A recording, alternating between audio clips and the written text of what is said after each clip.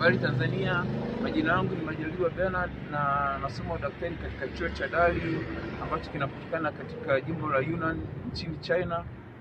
Mpaka sasa ni kwamba kwa China nzima uh, tak, watu elfu ishirini na nane mia ishirini na tano wameweza kuambukizwa na wanaosadikika ni takriban watu elfu ishirini na nne mia saba na mbili lakini pia wapo waliopona ni takriban elfu moja mia mbili sabini na sita na watu waliopoteza maisha ni mia tano sitini na nne.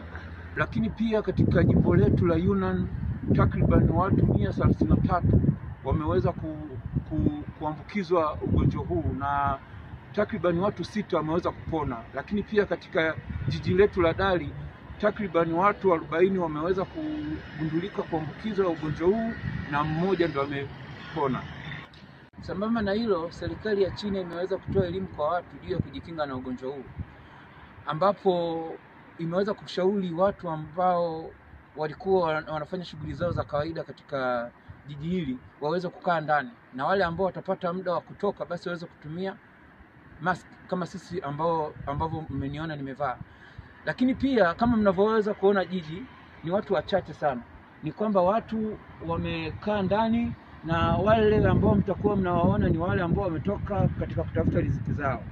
Kwa nini tunavaa mask? Kwa sababu ugonjwa huu unafahamika kuambukizwa kutoka kwa mtu kwa mtu. Kwa njia nyingine ni kwamba ugonjwa huu unaweza kuambukizwa pale ambapo mtu atajigusa machoni, puani na mdomoni. Changamoto tulizonazo wanafunzi tuliopo Dali ni chakula, kwamba maeneo mengi yamefungwa na maeneo yale ambayo yatakuwa yamefunguliwa chakula kinauzwa ghali sana. Lakini pia changamoto nyingine ni upatikanaji wa mask ambapo pia zimeisha, na pia utakapopata duka linauza mask ni, ni ghali sana.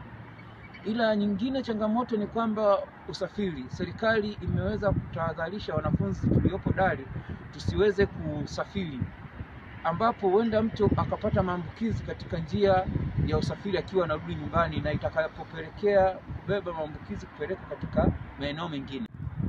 Serikali pamoja na uongozi wa chuo pia umeweza kutoa maelekezo juu ya mwanafunzi atakayepatikana na dalili za ugonjwa huu kwamba atapelekwa katika hospitali ya chuo kwa uangalizi zaidi. Tunatoa shukrani kwa serikali ya nchi ya China kwa kwa kutoa ushirikiano wao hali na mali kwa wakazi na raia wa kigeni kama sisi wanafunzi wa kigeni hapa Dali kwa kupambana na ugonjwa huu.